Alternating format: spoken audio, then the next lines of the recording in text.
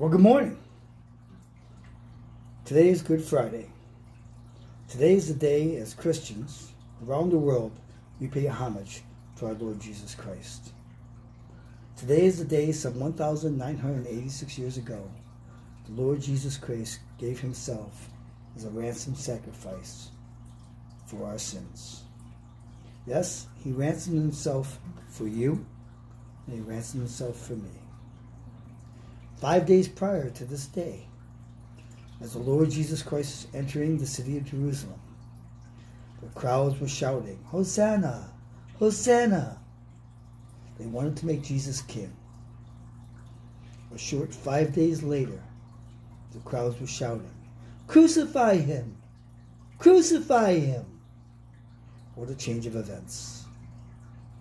The Lord Jesus Christ knew that his kingdom was not of this world. Lord Jesus Christ knew what he was about to endure. The things he went through on that day are things we can't even imagine. He was punched with fists. He was kicked. He was spit upon. He was whipped. He was flogged. He was humiliated and made fun of. He had a crown of thorns pushed into his head. And then in that weakened state, our Lord was forced to carry his cross, some 70 pounds, two kilometers to his place of execution on Calvary.